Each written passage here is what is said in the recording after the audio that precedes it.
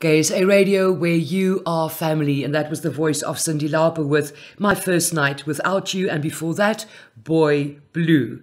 And we've come to the end of Cocktail Hour and our top five countdown of gay writers. At number five, we had Armistead Maupin at number five, Alice Walker at number four. Number three, we had Gertrude Stein. We had uh, number two, Harvey Fierstein. And at number one, we had James Baldwin. Please go to our website at www.gaysaradio.co.za if you want to join the conversation or want to listen to a podcast.